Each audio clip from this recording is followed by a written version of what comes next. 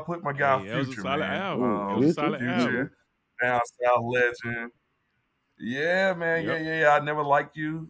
Really, um, really well put together album, man. So, um, I ain't gonna dive deep into that because Yep. a lot of that is mainstream, and people just, you know, people live their life off of Future. Yeah, so, yeah. I don't think I necessarily have to go into depth with, you know, with, with a lot of things that he did, but I definitely had to put him in there.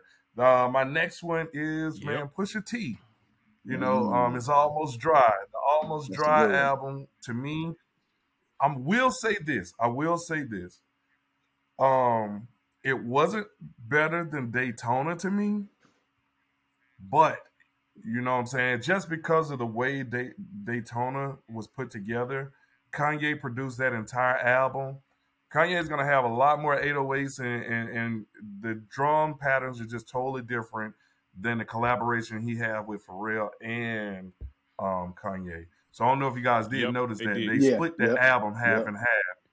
Kanye did half, and then Pharrell did half. Me, I'm gonna be honest with you.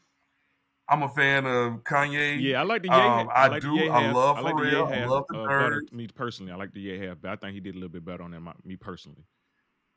Yeah. Yeah, yeah. So most definitely, man. But again, you know, pushing on never, um, you know, leave you leave you drive with the with the lyrics, the content.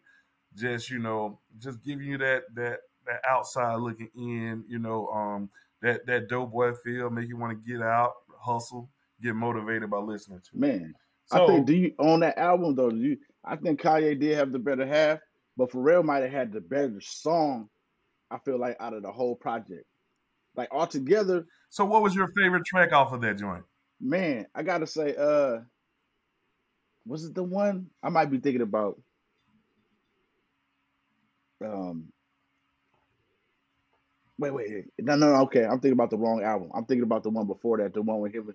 What was the one with him and his brother? He's like, "You're gonna die." Hold on, I got. I got to look at the name of it. Uh, so with- so Malice was on that. So Malice was on that joint too. It was the last track on that album. So that may be the one that you're talking yeah, about. yeah. I think that. I think. I think that was I my. pray Uh, for you. hold up, I'm about to look right I now. pray for you. That's the one Malice Huh? was on. I pray for Yep. Yeah, yeah. That was Mhm. my favorite track. That that was my Okay. favorite track. Okay. yeah. Hey, and, and no lie, that that's not that's not a bad track at all. So when I went through the list, I wanted to go through, and that wasn't um the the ones that again that didn't play in the top 100s, right? Uh, I'm like I said, I'm more lyrical driven. I really want to get to see what they're talking about.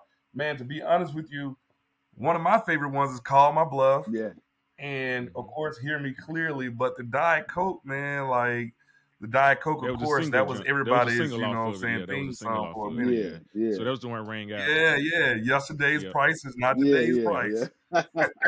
yes, like Pharrell has some today's good beats on it, but I just think you know what I'm saying. Um, with Ye sampling and stuff, I just think his sampling is just was a little bit better on that project to me. I just thought his sampling and, and the way he kind of put the samples together and stuff like that, along with you know Pusha's voice and vocals and bars, it kind of just went it like just went hand in hand. You know, you know he can work good with Pusha. Like when him and Pusha get in get in there together, they work so well together. Like they play off each other with the beats, the samples, the vocals, Yeah. the bars. It just goes so good together.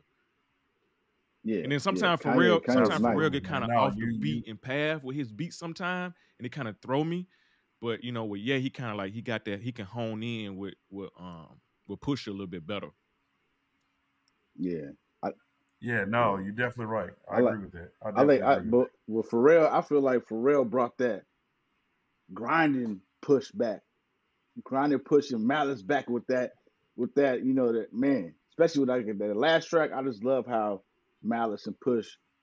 They was going like really. If you didn't know, you wouldn't know. You wouldn't know who started and who mm-hmm. stopped when it was going back and forth. You was like, ooh, like Yeah.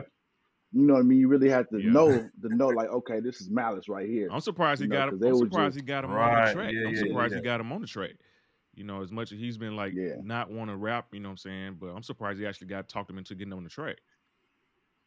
Yeah, yeah.